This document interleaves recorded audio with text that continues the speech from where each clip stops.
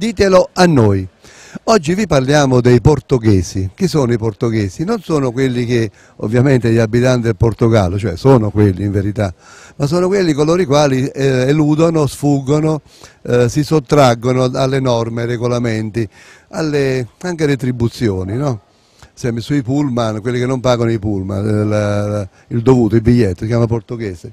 Ma è portoghese pure chi eh, approfitta di talune situazioni per fare i comodi propri.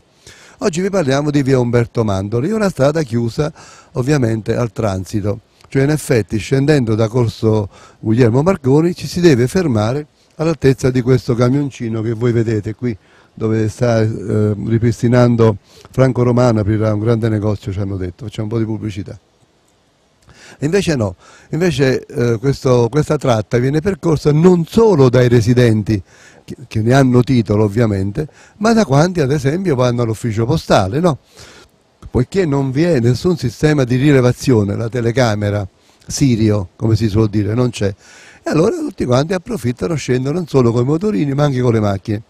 O si mettono qui con i motorini in via eh, Vincenzo Montefusco, proprio alle mie spalle, o in via Andrea Pellegrino, addirittura proseguono percorso Umberto I, perché tanto non sono stati ripresi.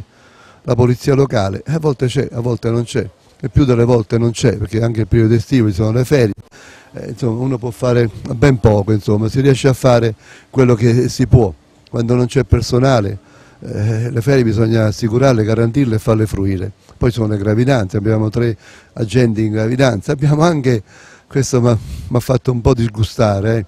abbiamo dei vigili urbani, degli agenti di polizia locale in allattamento, ma lo prevede il sindacato, le norme sindacali lo prevedono e allora perché non approfittare? Il mondo sta andando a rotoli appunto perché ci sono troppi portoghesi, ditelo a noi.